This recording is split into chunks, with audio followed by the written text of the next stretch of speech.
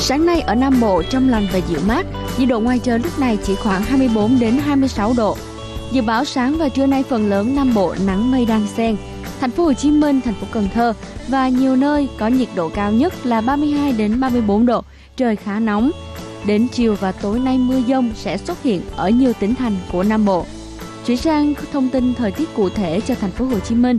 Dự báo từ giờ cho đến trưa, trời nắng gián đoạn, nhiệt độ cao nhất ở mức 33 độ. Khả năng sau 16 giờ mưa dông sẽ xuất hiện. Trong cơn mưa đề phòng lốc, xét, gió giật mạnh.